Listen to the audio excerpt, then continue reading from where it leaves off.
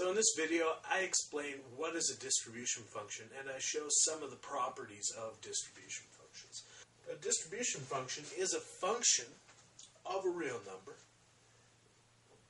that tells us how the probabilities of a random variable relate to that real number. In particular, the distribution function is defined to be the probability that the random variable x takes on a value less than this number here, x.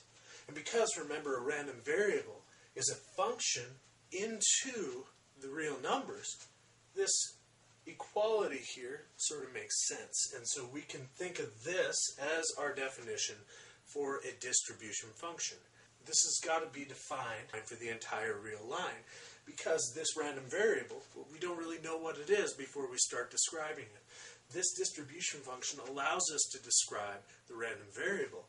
So if a distribution function has no jumps, that's going to be what's called a continuous random variable. And it asymptotes up to 1, uh, goes asymptotes to negative infinity, here it's 0, and it's just a smooth continuous function here. That's a continuous random variable. That's the type of random variable um, that would have this kind of distribution. So a discrete random variable looks like this. It looks like a step function with our distribution function here. And it only takes on probability at the jump points. Is that these jump points would be the support of the degree uh, of the discrete random variable.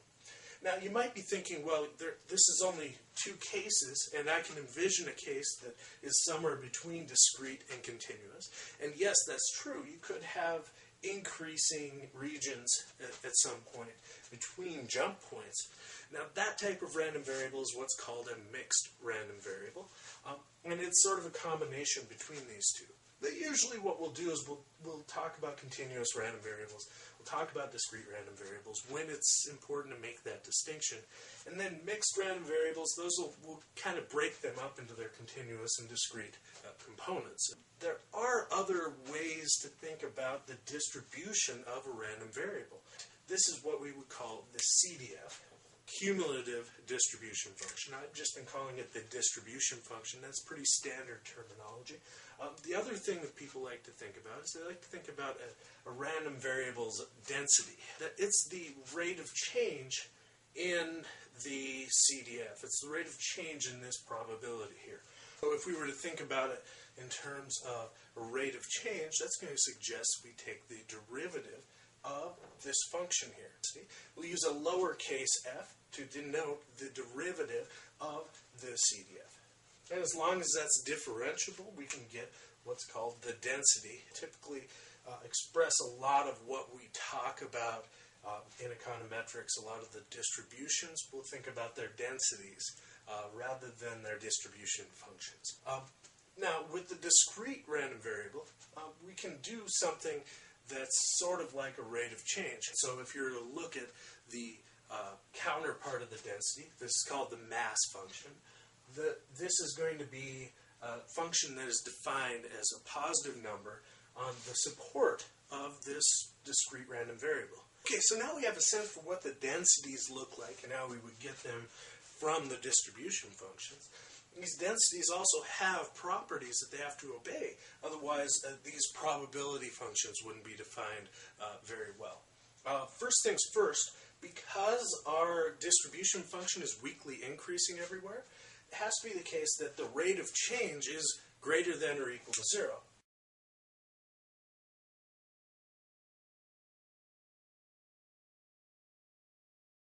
And then the next really important uh, property of, of densities is that if you add them up, if you add up all of the values that x could take on, it has to be that that adds up to 1.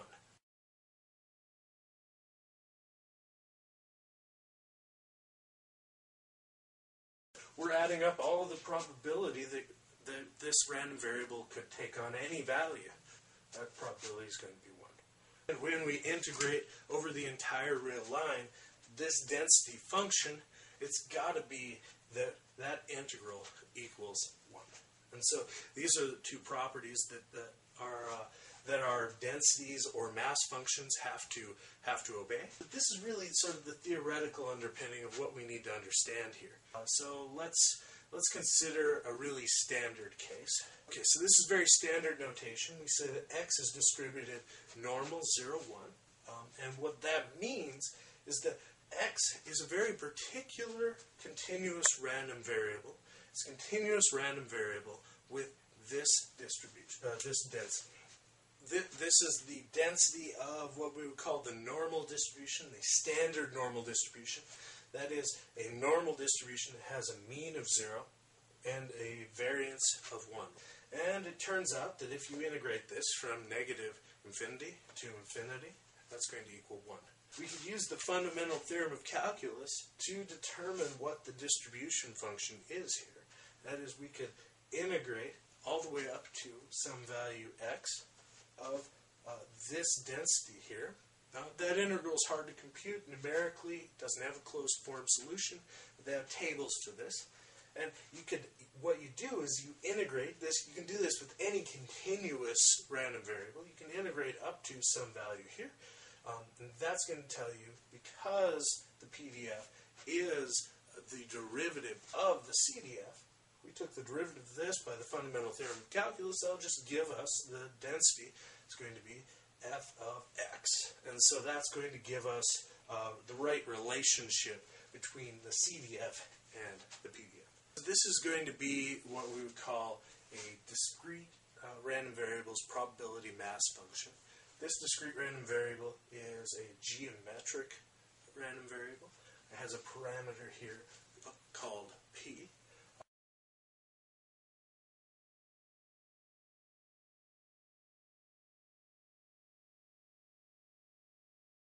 So the way to conceptualize this is the number of failures before you get your first success.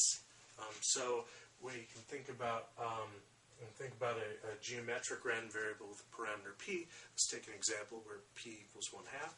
If I flip a coin, I, I can have zero failures before I get my first success.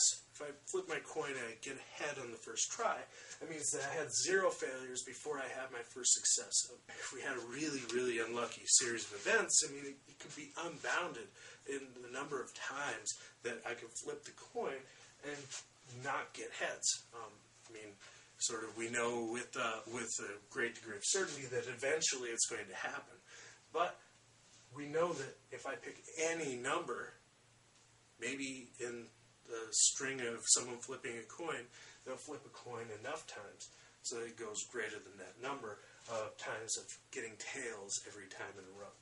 The support of this distribution would be, well, number of failures I could have. I could have zero, I could have one, I could have two.